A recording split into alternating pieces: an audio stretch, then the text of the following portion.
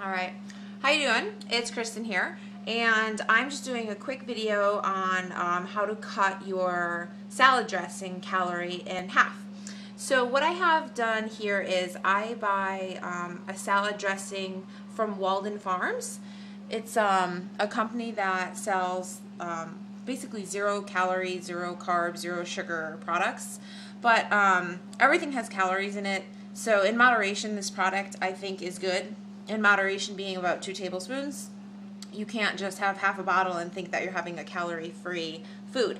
But um, here's the um, one of the dressings that I get. It's raspberry vinaigrette, um, Walden Farms product, and as you can see, um, you know, basically everything is like zero. So my coach said that this was okay in moderation, which is like two tablespoons, which is not that much.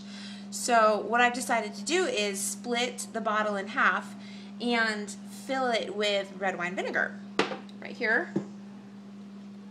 This is like zero, this is like nothing in it.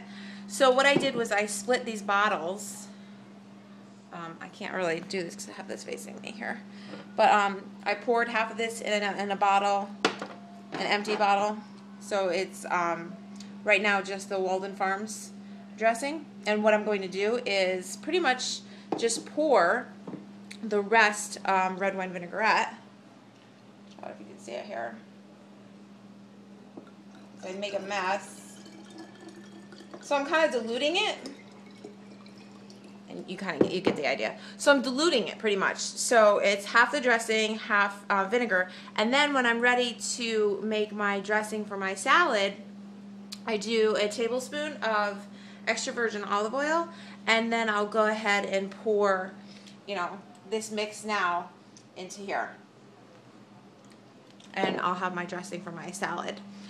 Um, so that's just a good way to cut your calories in half for your salad dressings. You don't have to do the Walden Farm product. You can buy a regular salad dressing or low fat, already low calorie, and then dilute it half with red wine vinegar or a quarter. I don't think this would work well with like creamy dressings like um, Caesar or creamy Italian. So um, on the other hand, I don't, I don't think the creamy are the best choice, but to each his own. So it's just a little tidbit for you. Um, simple red wine vinegar, mix it with half of your salad dressing, cut your calories in half. It's a, a good way to save your, yourself on some uh, calories on that salad to make it more healthy. All right, I hope that helps. Hope everybody's having a great week, and uh, no excuses.